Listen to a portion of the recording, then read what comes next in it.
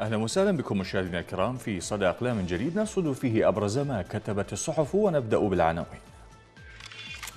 جاء في المدى تأخير نتائج الانتخابات يفسح المجال لتفاهمات بشأن الحكومة المقبلة.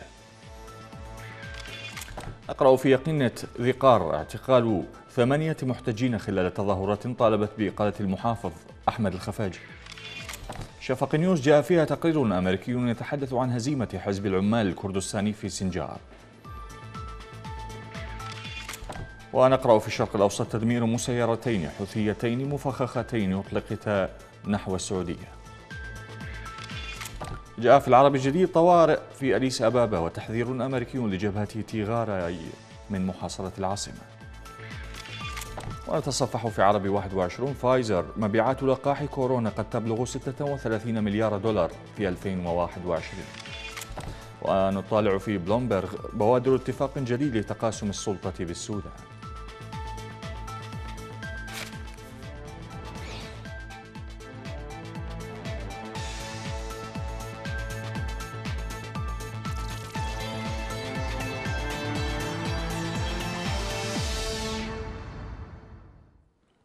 أهلا بكم. يتساءل الكاتب الشيخ لطيف السعيدي في مقال بصحيفة الميثاق الوطني لماذا يصمت العالم أمام الإرهاب الإيراني الطائفي ويتساءل العراقيون والمتابعون والمهتمون بالشأن العراقي مع أحرار العالم أين العرب مما يجري في العراق؟ أين جامعتهم العتيدة؟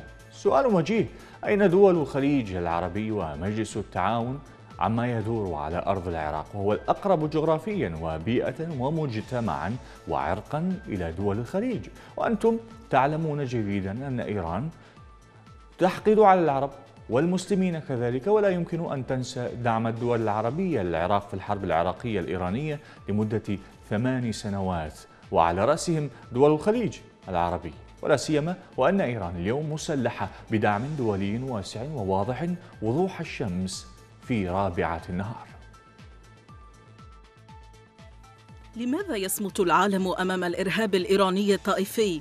وأين منظمة المؤتمر الإسلامي من المذابح البشعة والانتهاكات المستمرة ضد الشعب العراقي التي ترتكبها إيران وميليشياتها ومراجعها وأدواتها في العراق؟ وأين الأمم المتحدة ومجلس أمنها؟ أين دعاة حقوق الإنسان ومنظماتهم الدولية؟ أين الضمير العالمي الذي كان يتباكى على بطة احترقت في النفط المتدفق في مياه الخليج العربي قبل عاصفة الصحراء التي قادها بوش الآب عام 1991 واليوم في حكم الغزاة الأمريكان للعراق يقتل آلاف المدنيين من الرجال والنساء والشيوخ والأطفال العزل وتسرق مدخراتهم وتنهب الممتلكات والحيوانات والمواشي بحماية الغزاة الذين يدعون حقوق الإنسان. سؤال مهم وضروري للأمم المتحدة والغزاة الأمريكيين والدول المتقدمة التي تدعي حماية حقوق الإنسان وتتباكى على المرأة والطفل. أي الجرائم أكبر؟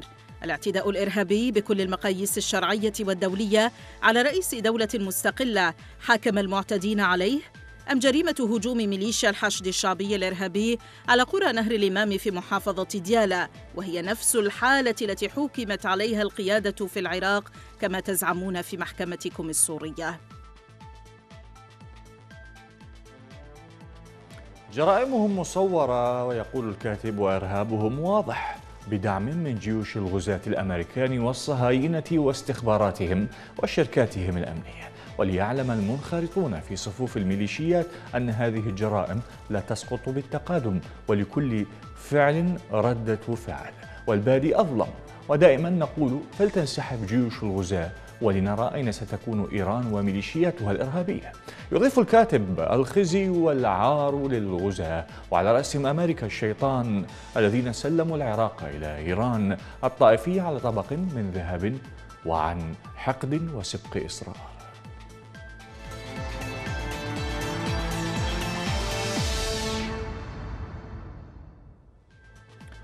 نبقى وإياكم مع صحيفة الميثاق حيث تقول الكاتبة دكتورة فاطمة العاني بدأت التكهنات تظهر باحتمال فوز من؟ من يا ترى سيفوز بمنصب رئاسة وزراء العراق وتتسابق الوجوه المملة على شاشات وصفحات الفضائيات ومواقع الإنترنت لكي تثبت بكفاءة بكافة الوسائل. الممكنة أن مرشحا بعينه سيفوز بهذا المنصب بناء على سلسلة من الأسباب. ويظهر علينا البعض لكي يبرهن مثلا أن عودة نور المالكي حتمية إلى هذا المنصب. وهو الوجه الأكثر طلبا على واجهة شاشة عرض العملية السياسية ليلعب دور رئيس الوزراء مرة أخرى. تتسرب الفيديوهات والدعايات حتى وصلت إلى أن أحدهم وصفه بأنه أساس البيت الشيعي وأحد أعمدته. المالكي المعروف بأنه أول من مول الميليشيات من أموال الدولة حتى قبل فتوى تشكيل ميليشيا الحشد الشعبي وقد اعترف بذلك علنا حتى يذكر الميليشيات بأفضاله عليهم كما أنه أوضح مثالا للطائفية التي يقدمها على وطنيته وكان أكبر إنجازاته هو السماح لدخول داعش للعراق إلى المناطق التي عارضت سياساته لكي يدمرها بذريعة مكافحة الإرهاب فهو لا يسمح لأي كان أن يعارضه.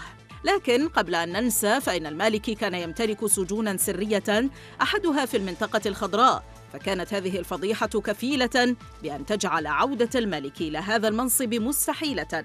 فالسجون السرية أثرت على سمعة المالك العالمية فقط وأبعدت عنه حلفاء دوليين ساعدوه بالوصول إلى السلطة.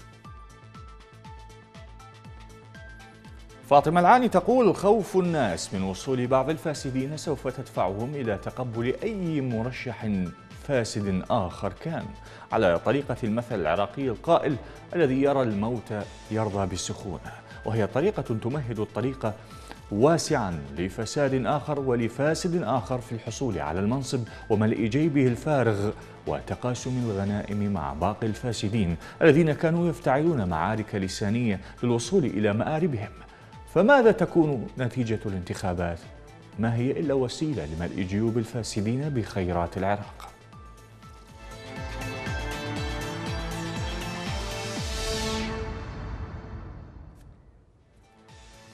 نطالع في القدس العربي وجاء مقال للكاتب مثنى عبد الله قال فيه من هو الحاكم الفعلي في العراق؟ بغض النظر عن أن القرار العراقي باتت صناعته حكرا لطهران وواشنطن منذ عام 2003 وحتى اليوم لكن المسألة التعامل مع الهويات الفرعية والعلاقة بين أبناء الشعب الواحد تركت بيد ثلاثة عناصر تماما يتسيرون المشهد الداخلي وهم سياسي طائفي فاسد وخائن.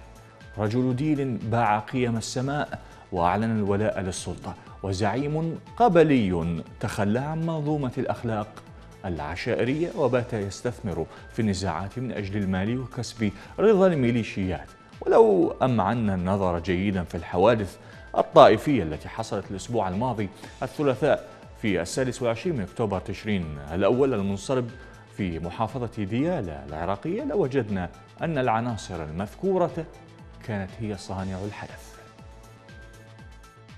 إن التحالف الذي بات يحكم المجتمع ويرتب العلاقات فيه والمتكون من السياسي الطائفي ورجل الدين الدجال والزعيم القبلي المنافق حاولوا إنشاء منظومة علاقات اجتماعية قائمة على أساس تقسيم المجتمع إلى معسكرين معسكر يزيد ومعسكر الحسين. واختص أتباع مذهب معين بأنهم من أتباع يزيد والآخر من أتباع الحسين. وبالتالي حاولوا تثبيت معادلة قائمة على أن كل من يقتل من هذا الطرف يتحمل دمه الطرف الآخر بغض النظر عمن قام بالفعل. وبما أنهم رسخوا في أذهان بعض العامة أن تنظيم الدولة محسوب على مذهب معين فإن من حقهم الانتقام من طرف مجتمعي محدد. حتى إن كان هذا الطرف بريئا وليست له علاقة بالتنظيم. بمعنى أن هذا التحالف الثلاثي يريد إظهار أن سلم وأمن الطائفة مرتبط ارتباطا جذريا بهم. والهدف من وراء ذلك هو استمرارية مصالح هؤلاء الثلاثة. فالسلم والأمن للمجتمع ككل ليس في أجنداتهم وليسوا معنيين به إطلاقاً. كما أنهم لا يؤمنون إطلاقا بالدولة ويثقفون أبنائهم من منتسبي القوات المسلحة وقوى الأمن الداخلي بأنهم قوات للميليشيا وللطائفة وللمذهب وللقبيلة. يقينا بعد كل هذه الجريمة المكتملة الأركان التي حدثت أمام أعين القوى الصلبة للدولة التي ينبغي أن يكون دورها هو حماية حقوق المواطنين والدفاع عنهم سيكون من السذاجة جدا بمكان السؤال عن دور الدولة ودور رئيس الوزراء ورئيس الجمهورية الذي يوصف وواجبه على أنه حماية للدستور. ففي الدول الحقيقية وليست الدول الفاشلة يكون مكان رئيس الوزراء في وسط السلطة السياسية ودوره هو مسك كل خيوط اللعبة السياسية بيده.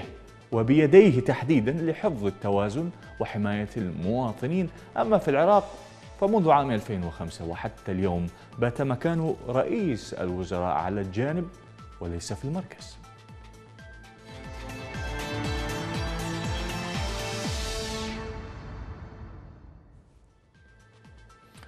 يقول الكاتب حاتم الفلاحي إن العملية السياسية في العراق تحكمها إيران.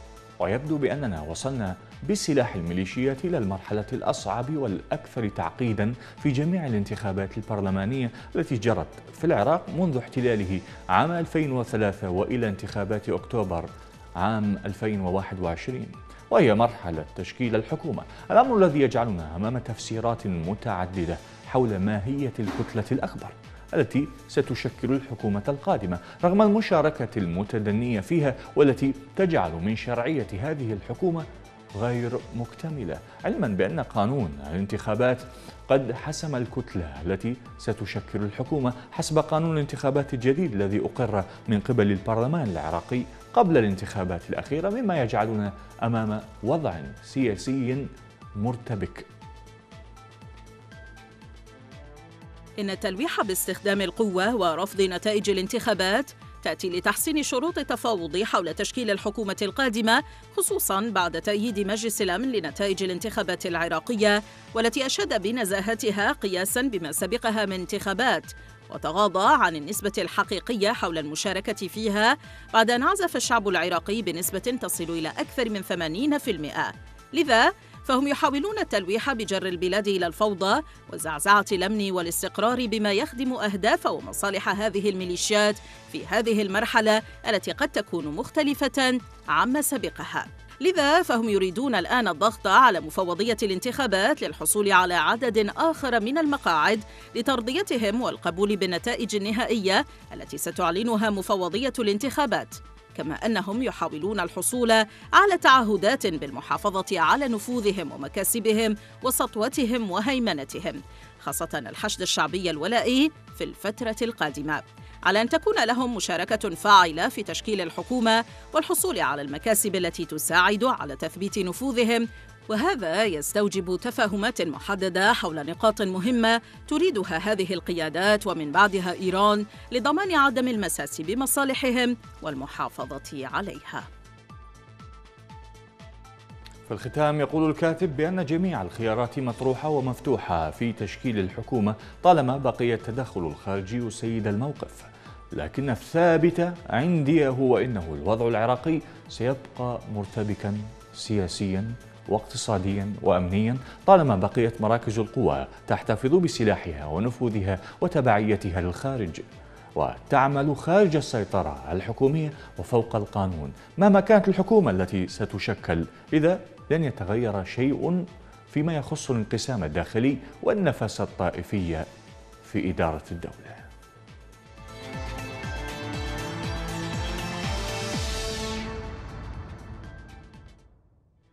جاء في عربي 21 عن القدس ومواجهة العدوان على المقابر. كتب نزار السهلي يقول لم تترك المؤسسة الصهيونية شيئا يتعلق بمدينة القدس إلا واستهدفته بسياسة العدوان الممنهج بهدف تهويد المدينة واقتلاع كل أثر يشير لأصحاب الأرض في فلسطين التاريخية. يخوض المقدسيون مواجهة عدوان المؤسسة الصهيونية على مقابر المدينة. مواجهة ليست جديدة خصوصا فيما يتعلق بتجريف المقابر الإسلامية والعربية بما يتلائم أهداف الاحتلال المعروفة في خلق أوضاع تكون فيها السيطرة المطلقة للوجود اليهودي في المدينة. كل هذه المقابر تعرضت للاعتداء والنبش وتغيير المعالم والمصادرة. والعدوان على المقبرة اليوسفية سبقه عدوان على مقبرة مأمن الله.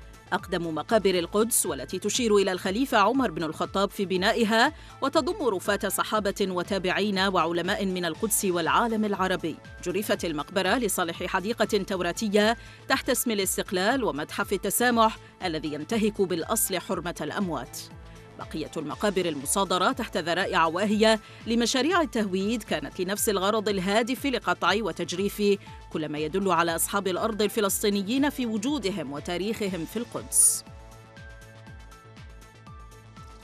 يقول نزار القدس لها حيز واسع وبعد تاريخي في برامج المؤسسة الصهيونية القائمة على النفخ بالأساطير التلمودية لتزوير الوقائع على الأرض والحقائق وفي باطنها للنبش من أين من أي أثر آه، يدعم تلك المزاعم والحقائق. فبعد سياسة الاستيطان كما تعلمون والتمدد اليهودي الديمغرافي لحصار الأحياء العربية المسلمة والمسيحية في المدينة ومحاولات العبرنة والتهويد والتشويه لتاريخها يخوض المقدسيون مواجهة عدوان المؤسسة الصهيونية على مقابر المدينة.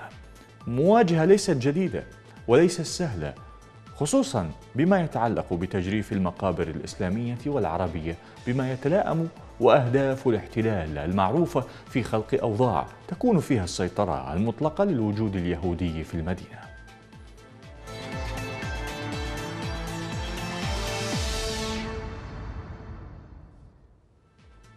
بلومبرغ عنونت بوادر اتفاق جديد لتقاسم السلطة بالسودان.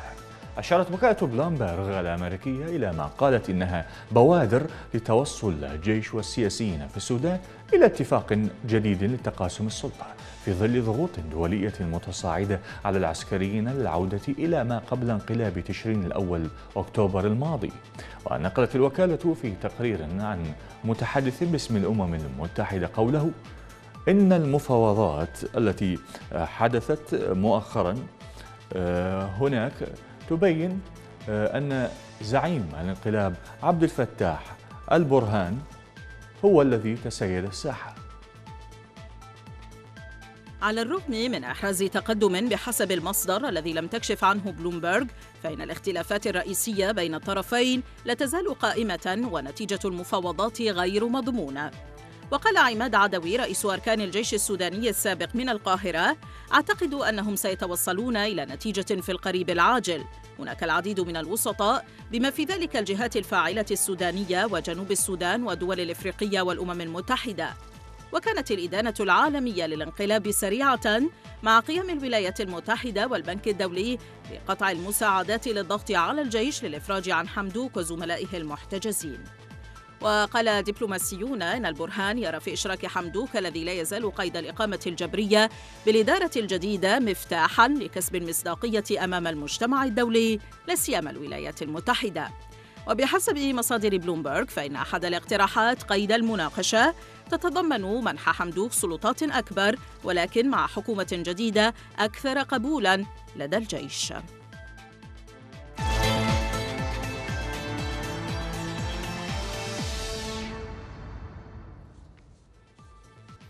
أعلن شركة فايزر الأمريكية الثلاثاء أن مبيعات لقاحها لفيروس كورونا المستجد قد تصل إلى 36 مليار دولار خلال العام الجاري ويزيد ذلك بنسبة 7.5% مقارنة بتوقعات سابقة للشركة وذلك على إثر انتعاش مبيعات اللقاح. وقالت الشركة في بيان إن المبيعات المتوقعة خلال العام الحالي تعكس توريد 2.3 مليار جرعة من لقاح كورونا سيكتمل تسليمها بنهاية العام وذكرت الشركة أن 75% من عائداتها المسجلة في الربع الثالث من العام الحالي تأتي من خارج الولايات المتحدة.